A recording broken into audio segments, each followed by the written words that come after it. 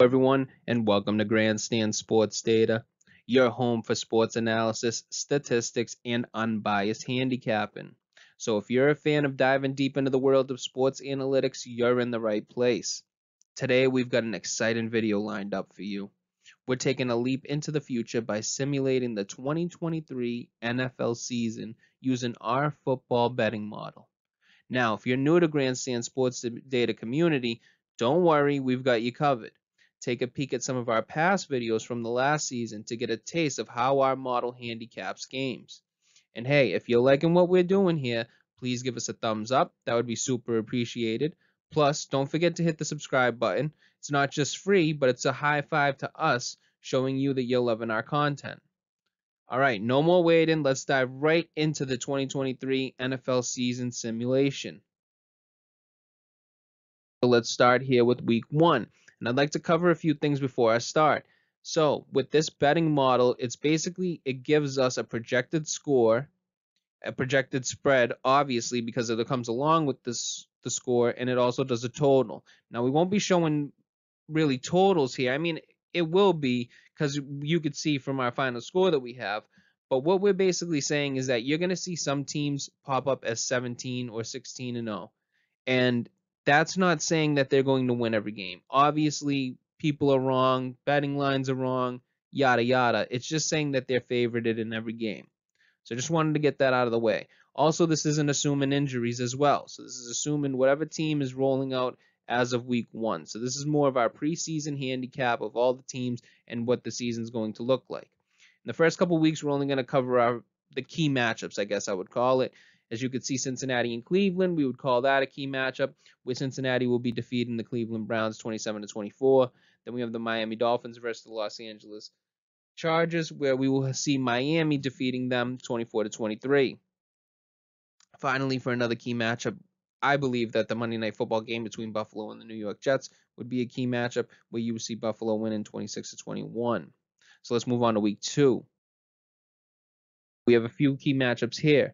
I believe Kansas City and Jacksonville. I guess I, the model likes them in terms of a key matchup, and by key matchup I mean they rank them in terms of their respective ranking. So, kind of, I guess, a spoiler alert: Kansas City ranks as number one, whereas I believe the Washington Commanders or the Houston Texans rank number 32. But the higher your rank is, the higher the game score, and that's what qualifies it as a key matchup to us. Um, next would be Baltimore and Cincinnati. Cincinnati would be getting the win there, 27 to 21. And then finally, we would finish with the key matchup of the New York Jets versus the Dallas Cowboys, where the Dallas Cowboys would be coming up on top. And as you can see on the left side, you'll see the AFC standings in the playoff picture, and on the right side, you'll see the NFC standings in the in that playoff picture. Now coming in in week three, week three, there's not many key matchups. It's more of a lopsided week. Um, the games are really heavy favorites, and um, I mean, there's nothing really to touch on in terms of key matchup games or anything of the like. Um, also, another thing we didn't touch on, if you guys want to pause and see your favorite team and the results that we have for our model. So these are all based on our model. Just reminding everyone, we taken our model, we put in the results, and then we plugged it into this website. But if you want to see your favorite team and we're moving too fast, you can always click pause, take a look, and we'll see where we have them week four. Week four, we as if as a key matchup would be the Miami Dolphins at the Buffalo Bills. See, the Buffalo Bills would be winning that game 27 to 21. Next key matchup would be Kansas City versus the New York Jets.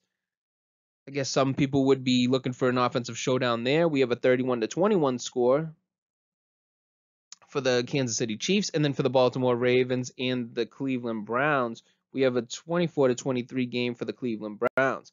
Just a heads up, our model really likes Cleveland this year.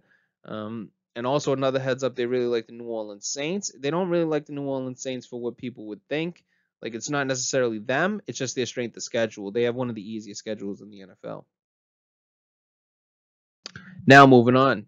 Key matchup here in week five. We have the Jacksonville Jaguars versus the Buffalo Bills. We have in that game's in England, we have Buffalo winning 30 to 20 in that game.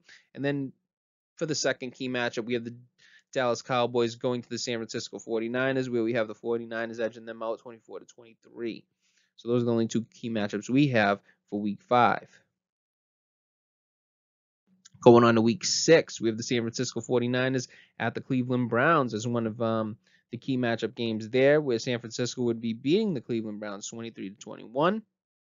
Then we have the Philadelphia Eagles going to the New York Jets, where the New York Jets will be losing that one as well, 27 to 21 to Philadelphia, and then Dallas will be going to Los Angeles to play the Chargers, where we have the Cowboys winning that game 27 to 23, and Chargers coming off of a bye from the last week in Week Five.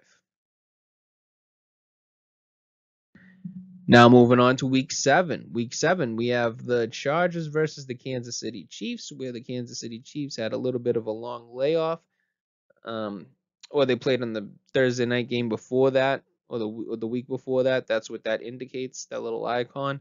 And Kansas City would be winning that game 31 to 20, whereas the Miami Dolphins would be going to Philadelphia and losing that game 23 to 28. So Philadelphia, those are the two key matchups for the Week Seven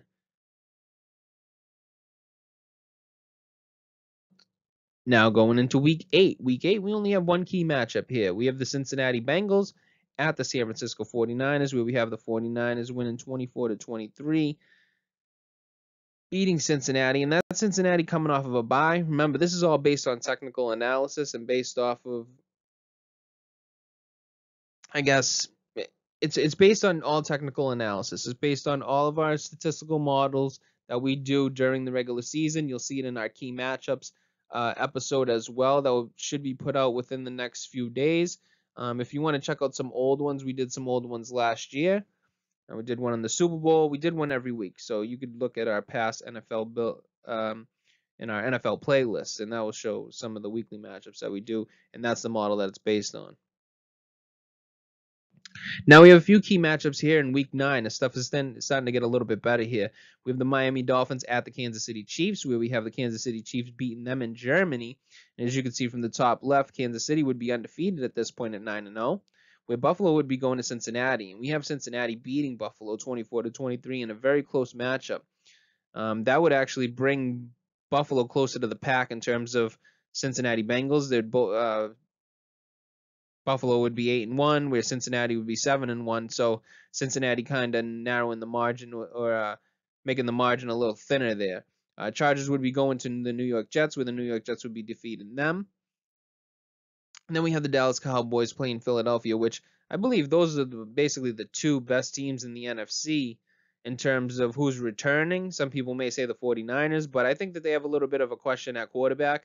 We've seen them for, I mean, a little less than half of a season, and people are already thinking he's Jesus Christ himself. So I think we need to calm down with the Brock Purdy thing and kind of see him in the regular season and see how he does and see how he can hold up in a 17 games uh, season. But for now, we have Philadelphia beating the Cowboys just to come off of that tangent I went off of, and Philadelphia would be staying undefeated at 9 and 0. On to week 10. Week 10 now, we have the Cleveland Browns going to the Baltimore Ravens. We have the Ravens winning 24 to 23 there. And then we have for our second key matchup, the San Francisco 49ers at the Jacksonville Jaguars. So kind of a little bit of a, I guess, a slow week, you could say, in the NFL schedule, um, where San Francisco would be beating Jacksonville 24 to 21. As you can see from the updated standings, we have about four undefeated teams still remaining in terms of the betting model. I know people are going to get crazy. Hey, man, how can you have all these undefeated teams? It's based on a betting model. So they're just the favorite in these games. Remember, they're the favorite in these games in a sport in a game of inches. So things happen where they won't be undefeated. These are just the simulations and these are just the projections. Going on to the key matchups for week 11, we have the Cincinnati Bengals going to the Baltimore Ravens, where Cincinnati Bengals would be winning 24 to 21. Then we have the Jets going to Buffalo, where the Jets would be, I believe that would be their second loss to Buffalo, if I can remember. And um, we have the Philadelphia Eagles playing Kansas City in a rematch of the Super Bowl, both coming off byes, where Kansas City would be beating them 27 to 20. So remaining undefeated. Someone's Zoe had got to go, so the Eagles would be dropped down to 9 and 1. Moving on to week 12. Week 12, we got a few games here. We have about four games that look pretty enticing to watch, where we have the Miami Dolphins defeating the New York Jets in New York. We would have Pittsburgh losing to the Cincinnati Bengals in Cincinnati, 27 to 21. And then we have the Baltimore Ravens going to the Los Angeles Chargers, which the Los Angeles Chargers will be defeating them in pretty much inching closer to that playoff uh, hunt, as you can see on the left side. And then we would have Buffalo versus Philadelphia, where Philadelphia would be beating Buffalo and kind of knocking them down a peg with Cincinnati winning in terms of that playoff hunt. Moving on to week 13, and I would call this a slow week. We only have really one key matchup. It would be the San Francisco 49ers going to the Philadelphia Eagles and losing to the Philadelphia Eagles 26 to 23, thus making the Eagles climb a little bit further in their conference going into week 14. In week 14 here, two matchups we have. We have the Buffalo Bills versus the Kansas City Chiefs. This is always, um, I guess, in the world of wrestling, they call it a slobber knocker. Kansas City defeating Buffalo. That's what our model has. So Kansas City staying undefeated, while Philadelphia will go to Dallas and will lose to Dallas. So Dallas getting a huge win in terms of inside the division. Both teams would go to 11 and 2 there. Moving on to week 15 week 15 and this is where we start getting into playoff implications. We have the new york jets and the at the miami dolphins. That would be our first key matchup where we have miami winning that football game 24 to 21 then we would have minnesota at cincinnati and minnesota would be losing to cincinnati. That would be another key matchup.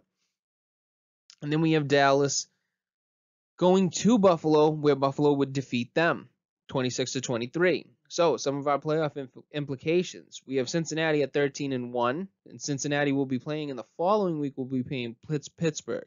Sorry, we'll be playing Pittsburgh, who is in the playoff hunt. They're about the ninth seed now, but going into next week, we'll see how it goes. I believe Cincinnati will be going into Pittsburgh. Um, another playoff implication will be Buffalo.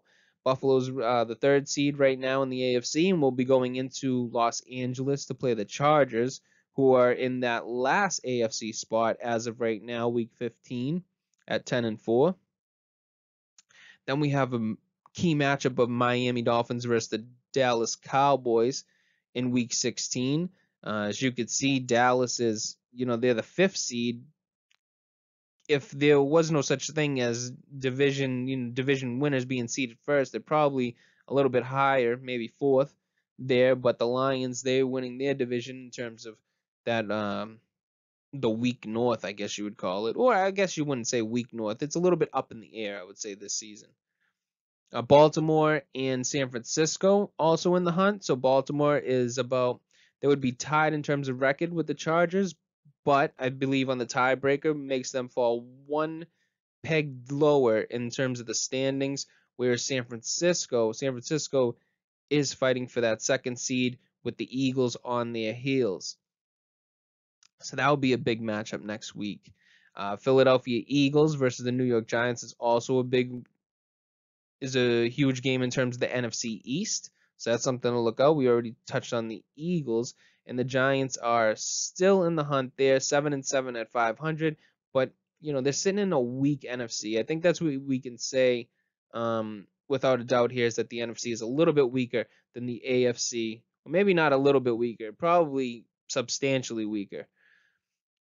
Uh, next game would be the Detroit Lions at the Minnesota Vikings. Both teams are on the playoff bubble, um, or the Vikings are on the more on the playoff bubble, but they're in the same division. So a few wins here, a few wins there, head-to-head matchups with each other. That one included in the next week for Week 16. So let's take a look there and some of the results of those matchups. So here's some of the results of those matchups. We have Cincinnati and Pittsburgh. Cincinnati defeating Pittsburgh 24 to 20. Then we have Buffalo defeating the Chargers 24 to 21. Then we have the Dallas Cowboys at the Miami Dolphins, which Dallas would be beating them 26 to 23. And then we have the Baltimore Ravens at the San Francisco 49ers, with San Francisco taking that one. Giants at Philadelphia. Philadelphia obviously taking that one. And then Detroit going to Minnesota, where Minnesota would actually be, I guess you would call it pulling an up, upset. I mean, I think that they're pretty even on paper, but Minnesota would be at home, so Minnesota will be taking that one. In terms of the playoff implications, look at Kansas City. Kansas City still remains undefeated, but will be playing Cincinnati, the one versus the two, in Week 17. So a game to definitely look out for. Next game, I guess I would look out for for next week would be the Jets and the Cleveland Browns. The Jets are on the playoff bubble. They really need a win there. If they don't win, they'll be eliminated from the playoffs in terms of this betting model. With the Browns at 12 and 3, told you that this model was going to love the Browns. It's, it, it loves its uh, quarterback play as well as, as its defensive play. So they're really high on the Browns in terms of the betting model. Uh, Miami Dolphins playing the Baltimore Ravens in the next week. That is also a playoff bubble matchup, I guess I would call it, with the Dolphins sitting at the sixth seed and the Ravens sitting at the eighth. So Ravens really needing a win there, and then the Detroit Lions at the Dallas Cowboys, with Detroit already getting a loss to Minnesota in Week 16. Now they're playing Dallas, who is a tough team, and will it knock them lower with the Vikings if they win? Now we're talking about a divisional tie going into the final week. So let's take a look at the results for week 17. In week 17, covering some of those matchups that we already spoke on. Jets at Cleveland. We got Cleveland winning by one point, 24 to 23, and basically knocking the Jets out of the playoffs. Then we have the Miami Dolphins at the Baltimore Ravens, where the Baltimore Ravens would be winning that game also by a point, 24 to 23 that doesn't move the Ravens up into a playoff spot, but it inches them very closer. And now there's no room for error for any of those three teams the Dolphins, Chargers, or Ravens. Kansas City at Cincinnati. I guess the game of the year that people were looking at, it would be in Kansas City, which people would call Burrowhead, and Joe Burrow would lose this game in terms of the model's project, project projections. Sorry about that. 28 to 21. So we have Kansas City winning that one. Next would be Detroit and Dallas, which we spoke on. We have Dallas obviously winning that one, and now the Vikings would be moving up into that NFC North divisional first place seed, but putting them as the fourth seed in the NFC. While Detroit gets dropped all the way to the sixth seed, and with a bunch of teams who are sitting at eight and eight, something to look at. What can we look at going forward in the final week? Well, we can look at Kansas City Chiefs and the LA Chargers. LA Chargers are on the bubble, while Kansas City would be going for an undefeated season. Cincinnati would be going to Cleveland, which Cincinnati looks like they locked in that two seed, while Cleveland looks like they're not on the bubble. It Looks like they locked up a playoff spot, and I guess is probably playing. They're not even really playing for seeding because I'm not too sure if they can catch Cincinnati in terms of the tiebreaker. But who knows? We'll take a look. Buffalo at Miami. That should be a good um, AFC East matchup. Uh, Dolphins are really looking just they need a win and the Ravens to lose or for them both to win. I think that would lock up a shot for Dolphins to make the playoffs there. Then Baltimore would be playing Pittsburgh, which would be a good matchup for them. Pittsburgh is essentially out of the playoffs, but Baltimore is sitting at a, that cluster of 11 and 5 teams where two of them are going to make it, one's going to be left out. They don't want to be the one left out. Philadelphia playing the New York Giants. New York's basically battling for a playoff spot there, where Philly is basically locked up, I believe, in that third seed. Third seed, they really can't move anywhere from there. Minnesota will be going to Detroit. This is obviously the divisional game that everybody's looking for, and it's basically for the division. Um, Chicago at Green Bay.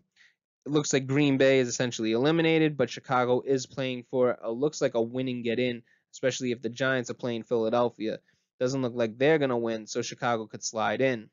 Let's take a look at the results for the last and final week, week 18. So here are the results. We have the Buffalo Bills playing the Miami Dolphins. We have Buffalo defeating the Miami Dolphins. But my Miami does slide into that last seed, and they will draw the uh, Cincinnati Bengals in the first round. Baltimore playing Pittsburgh. We have Baltimore defeating Pittsburgh and actually moving into the sixth seed, sliding over the Miami Dolphins with that win over Pittsburgh. Then Cincinnati and Cleveland. Cincinnati will be defeating Cleveland. Nobody really moved anywhere in terms of that game in that situation. Kansas City at the Chargers. Kansas City beating the Chargers, going undefeated 17 and 0, where the Chargers get knocked out of the playoffs. They lose there. They lost the tiebreaker to the Dolphins. Moving on would be Philadelphia and the New York Giants. Philadelphia moving on to 15 and 2, knocking the Giants basically out of the playoffs. And the Minnesota Vikings would be defeating, will be getting defeated by the Detroit Lions 24 to 23. Thus, the Detroit Lions winning the division. Vikings still getting in with an 8 and 9 record, and also Chicago getting in with an 8 and 9 record, def- losing to Green Bay Packers, but still sliding in because of the Giants losing to the Philadelphia Eagles. Another note, the Saints go 17 and 0 in this. Now remember, just like I said, this is because their schedule is so weak this season that they are favored in all 17 games according to our model, thus giving them the 17 and 0 record. We don't believe that. I don't believe that, but crazier things have happened. If you have seen some of our models and some of our past um, in some of the other sports that we handicapped, you can look back. We had the our model had the Florida Panthers going to the Stanley Cup. We had the Denver Nuggets going to the NBA Finals. We didn't have them winning, but we had them there. The model sometimes can tell a good future. It might not do great in terms of betting week to week, but we can tell futures pretty good. The Saints won't go 17 and 0, but you can look at them as a sleeper, definitely on to our playoffs. We have in our first matchup in our wild card round, we have the Cincinnati Bengals playing at home against the Miami Dolphins. Here we have Cincinnati winning 27 to 23. We believe Miami, they're efficient on offense, but will turn the ball over, and their bend but don't break defense will fold against Joe Burrow. Also, Cincinnati holds the edge in this matchup with yards per play differential, turnover differential, quarterback rating differential, and also hold the edge in explosiveness and efficiency. They're just a, they're just a better football team overall. Moving on, we have Buffalo Bills playing the Baltimore Ravens inside Buffalo. We have that going to Buffalo 28 to 21.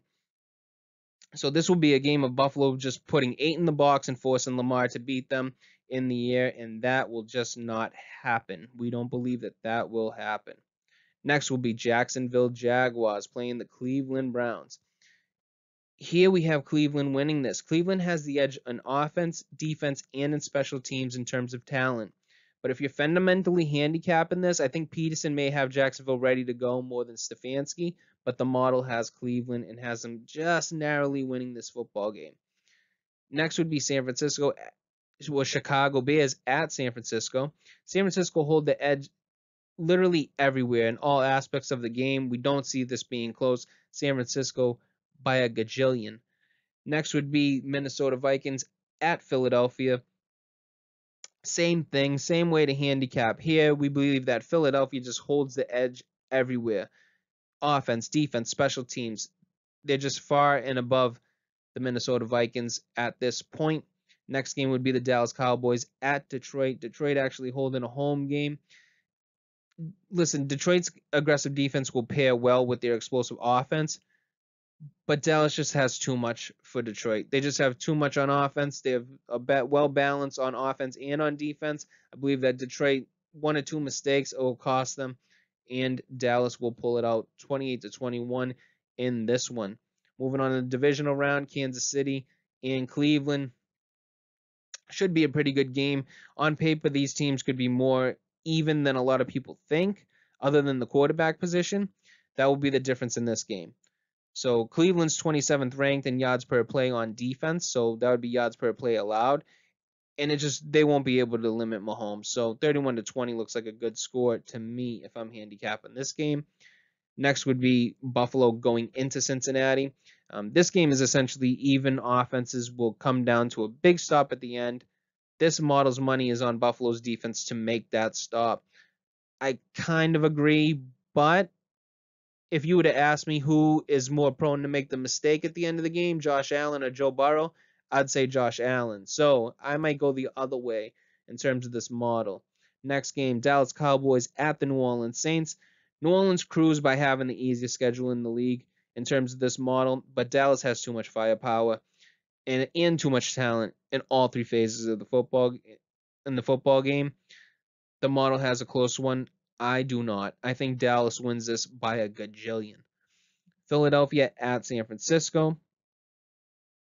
I think Philly is they're just too explosive, they're too efficient on both offense and on defense.